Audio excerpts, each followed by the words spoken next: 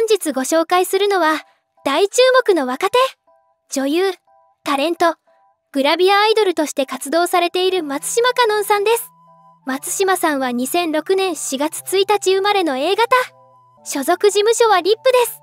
松島さんは愛媛県のご出身です。小学4年生の時に、地元のテレビ番組、ナルチカに出演。芸能界デビューはこの年になります。小学5年生の時に、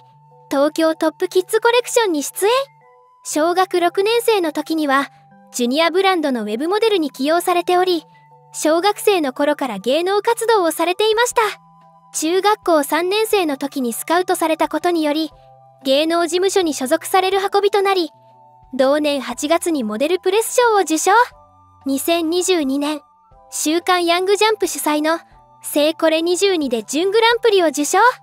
同年11月2日発売の、週刊ヤングジャンプ49号でエイミーさんと共に関東グラビアに起用されました。2022年12月と2023年5月には、生放送の報道番組 BS 吉本でコメンテーターを務められました。高校卒業を機に上京。同年4月、モデルプレス読者モデルオーディション2024にてモデルプレス編集部賞を受賞されると、6月よりモデルプレスにて連載記事をスタートされました。7月には、三代目シントトロイデンガールズに起用。18歳3ヶ月での就任は、ガールズ史上最年少。同年9月、ピグルーから日本向けオリジナルショートドラマ第1弾として配信された作品、理想彼氏。5人のイケメンと JK のキスの主演を務められました。そんな松島さんの2024年時点の交渉サイズは、身長162センチ、バスト78センチ、ウエスト58センチ、ヒップ83センチ。控えめなバスト、それに反したムチっとした太ももと、丸みのあるボリューミーなお尻こそ松島さんの最大の魅力。そしてついに、2024年4月1日、松島さん18歳のお誕生日となるこの日に、初めての写真集、松島カノンファースト写真集、僕とカノンを発売されました。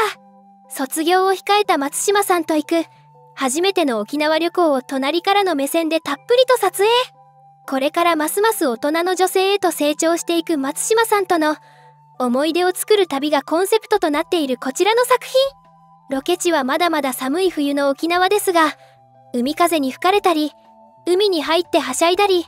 海に浸かったりと、体当たりの撮影に挑まれた松島さん。水着だけでなく、制服姿や私服スタイルも余すところなく掲載。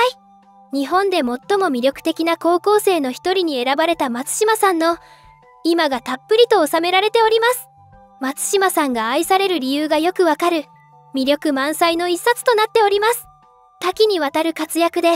注目の松島さん、応援しましょう。ご視聴ありがとうございました。